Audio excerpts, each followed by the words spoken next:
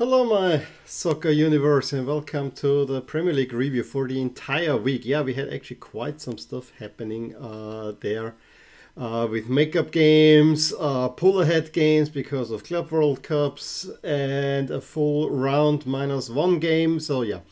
Burnley, meanwhile, many, many points behind, which gets me straight to the point, despite me wearing Manchester United, who sneakily had a, a rather good week, one has to say. Uh, even with some missed homes, but overall a good week.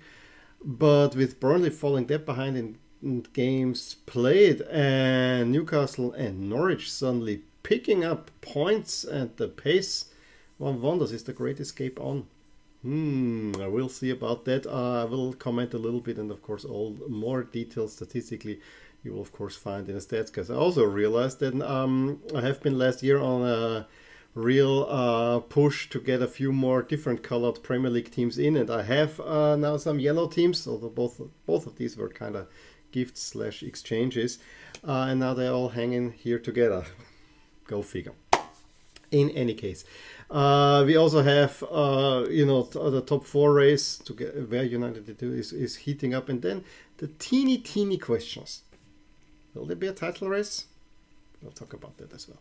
Uh, we gotta start, uh, you know, round 24, when we'll come back to that slide relatively soon, uh, kicked off with Brighton 1-1 uh, against Chelsea, uh, where Ziyech, after scoring the go-ahead head goal, was the unhappiest man ever to score a goal, seem uh, seemingly. I think Brighton probably would have deserved more out of the game, and you had real worries about Chelsea at this point.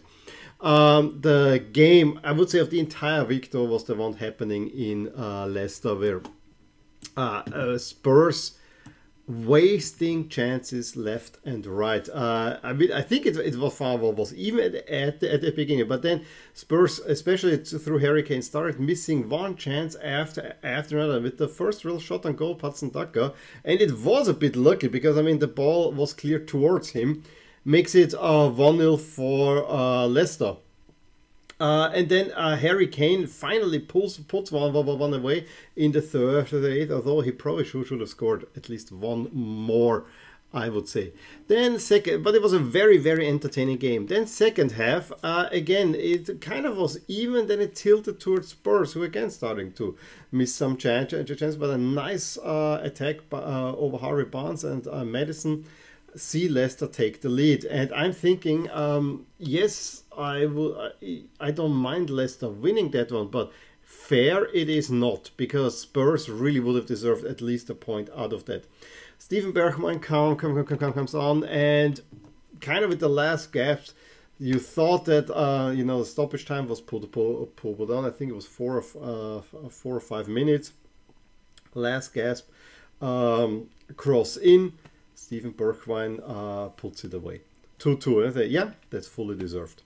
And then off the kickoff, uh, it was Tielemans who kind of stupidly lose lose the ball and Spurs immediately go into the counter and Harry Kane plays it onto Bergwijn, who gets the deserved winner. And what a game that was. I mean, it was already really entertaining the whole way through, and I actually preferred that than whatever was happening at the same time at the AFCON, although I had, had a second screen.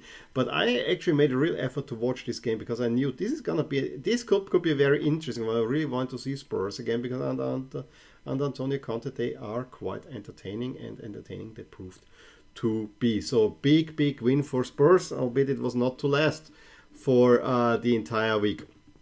Uh, Brentford against Manchester United was one of the weird games where probably in the first half Brentford should have taken the lead, could have taken the lead, uh, but then United turned uh, turned on, and Elanga and Greenwood um, make it two 0 Then the big one, Cristiano coming off, not not not, being happy, but Rangnick basically almost father-like coming to him and say, you know, if you're a coach, you will understand me. I, I understand well how you're feeling.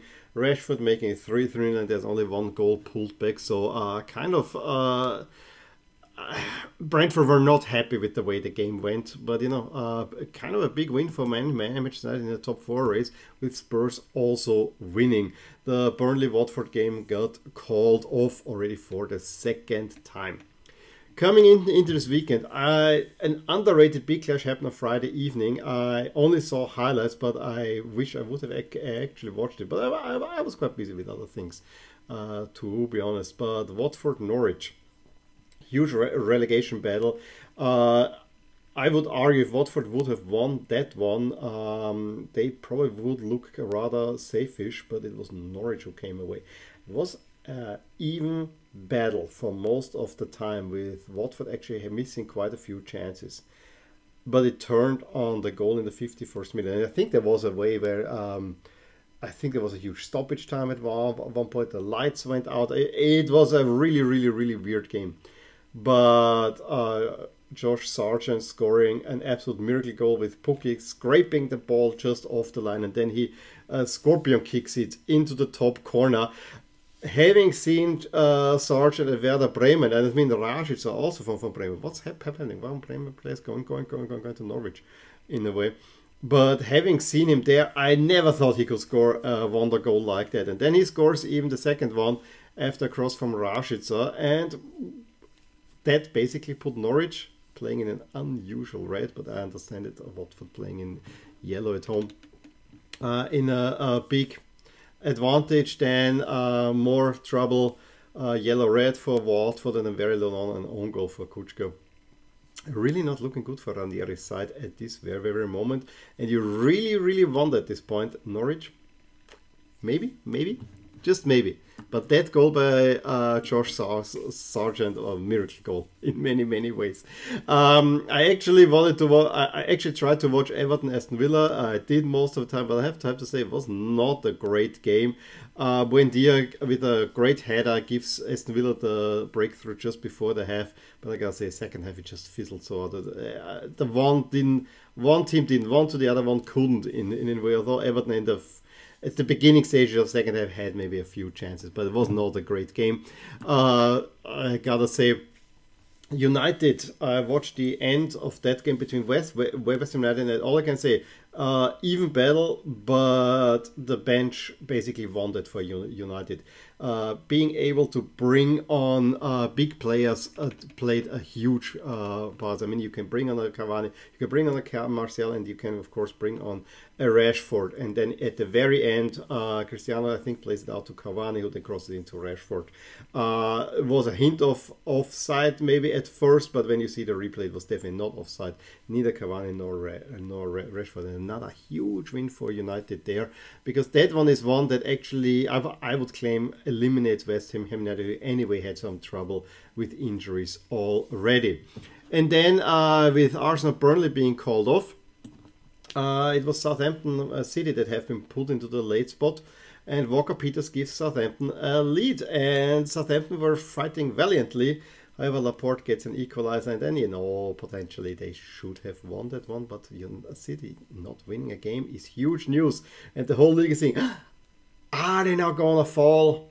I don't think so. However, uh, Liverpool, who also have a game in hand on City, uh, get the win at Crystal Palace with a little bit contention because you know uh, it was two one, uh, nil at the half. Was pulls one back, and then uh, was it a penalty foul on Jota? It took forever to find that uh, to figure that one out. Fabinho converts the penalty, but I gotta, gotta say this was maybe a little bit contentious. Leicester City only getting a point against Brighton, uh, who again keep on piling on the points, and then was all about Chester Spurs, Chester Spurs, Chelsea's uh, Spurs, where I actually Chelsea did not have a good meeting. One, one against Brighton, probably uh, were lucky in the end, and Spurs had this big comeback, riding high. But again, whenever those two meet, there's only one winner, and it's Chelsea. Yes, there was a goal scored by Harry Kane where if he hadn't had an arm on Thiago Silva, uh, probably it would have stood as a good goal. Uh, but it was very little from Spurs in the second half. I mean, just as beginning, Ziyech with a, a, wonderful strike makes it 1 0 and Thiago Silva has it in 2 0 uh, ball game. There is not, not more happening there. Spurs just couldn't find that next gear and that uh, is honestly a little bit disappointing. I think it's the first uh, league defeat now for Conte, uh, in, uh, for Conte for Spurs as a Spurs manager. But I gotta say, I mean, and the game wasn't all that great uh, as well. I mean, I expect a little bit more, but Chelsea thoroughly deserved that win. Uh, and didn't have to really do much uh, for it. It would have been really interesting if that Harry Kane goal stood. But to me, that actually means that uh, Chelsea, in a way, is too good for the rest of the league except for Liverpool and Manchester City. There's a clear distinction, and Chelsea kind of occupies the space in between, probably touching with Liverpool. I think those, those level City is a level above. And there's the rest, and then there's a middle, and then there's the very bottom that could be interesting. Uh, very briefly, uh, the upcoming games. I mean, we had already Brighton Chelsea. I told you we're gonna see, see this again. Um, uh, so this is after this little international break that we're gonna have. Uh, if I look at it, City have to play Brentford, United against Burnley, all not that exciting. I mean, uh, Norwich and Crystal Palace. I mean, for Norwich, the break is now coming at a, a rather bad point. I'm interested Spurs Southampton. That could be an interesting one. It's a midweek round, um, and then Liverpool, Leicester, Wolves, Arsenal probably are interesting game, but it's not one that really really sticks out in any way. Um, and as I said briefly on the table, uh, just want to comment at the moment it's still Manchester City very much, but a 10% chance for Liverpool. Yep, 10%. Very, very uh, minor, who have two games in hand on Chelsea and one game in hand on Manchester City, so, so they could close the gap. The top four battle is the one that's really interesting, but it's uh, United, Arsenal, Spurs, with Spurs having the upper hand because having many, have, having a few games in hand. And uh, since we talk about on the bottom, Norwich is out of the relegation zone still because of the rating. You would not fancy them at the moment. Watford and Norwich are the teams that are odds on to move down. I actually would think that Newcastle will could move out. The big question is, of course, will Everton be dragged into the, the relegation fight? That is one that I they could get implicated, but at the moment, I think of the four that are on the bottom, I just call Everton out now. Newcastle is the one that is to me most likely to make up the escape, although Burnley with so many games in hand and only 38% chance. But you know, it will be a tight scale, and Burnley is not used to that. So that's why I think um, it will be Newcastle just barely escaping richest team in the world. So yeah, that was it from me from the Premier League.